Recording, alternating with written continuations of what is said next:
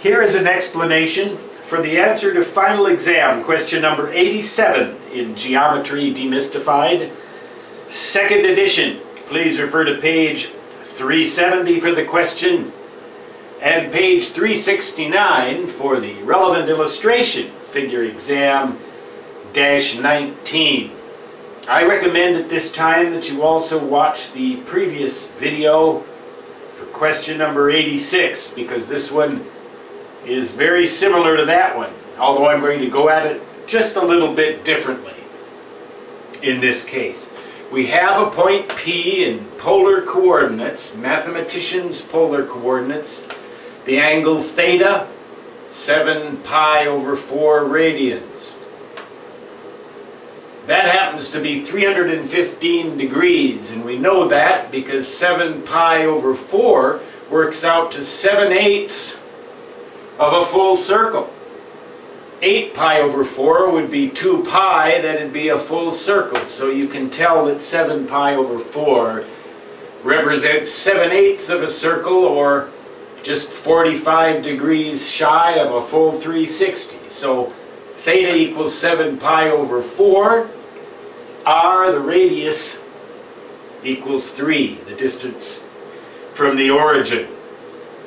What is the y coordinate of this point? Remember, y equals r sine theta. That means the radius times the sine of the angle. Well, what is the sine of this angle? I worked out the sine of 315 degrees. Now the y coordinate is going to be 3 times the sine of 315 degrees.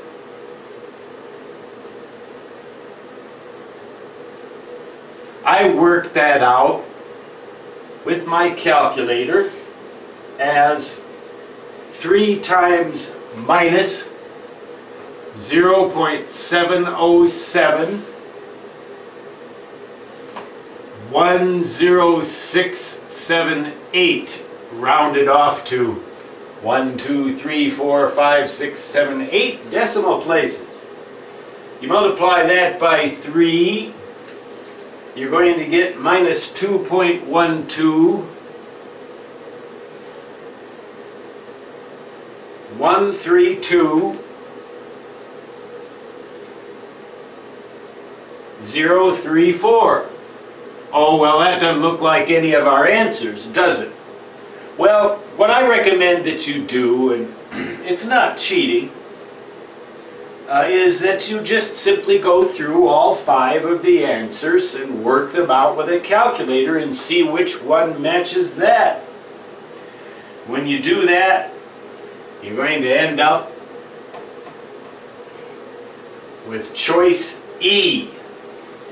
Choice E minus the quantity 9 halves to the 1 half. That's minus the quantity 9 halves to the 1 half. Or the square root of 4 and a half. The negative of the square root of 4 and a half.